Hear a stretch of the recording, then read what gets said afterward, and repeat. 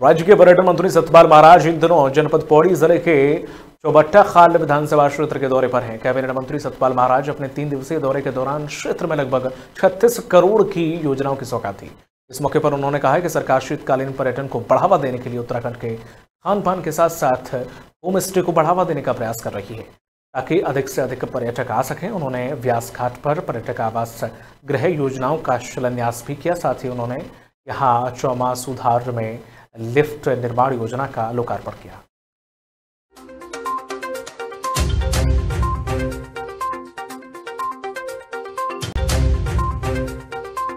वासियों को 12 करोड़ 19 लाख बयासी हज़ार की सौगात दी गई है। इसमें हम लोग सतपुली के अंदर कार पार्किंग बना रहे हैं, जो तीन करोड़ बावन लाख तिरपन हज़ार का बन के तैयार होगा। इसमें यहाँ ब्यास घाट में एक टीआरएच बनने जा रहा है, जो मुख्यमंत्री की घोषणा है। चार करोड़ छिहत्तर लाख सत्तावन हज़ार।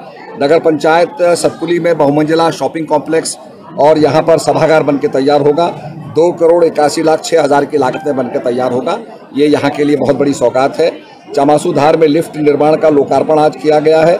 एक करोड़ नौ लाख छियासठ हज़ार बारह करोड़ उन्नीस लाख बयासी हज़ार की सौगात दी गई है। महिलाओं का सम्मान करती है और मुझे बहुत अच्छा लगा कि माने मंत्री जी के क्षेत्र में और कई जगह मतलब जैसा कह रहा था कि महिला को बनाया है क्या होगा?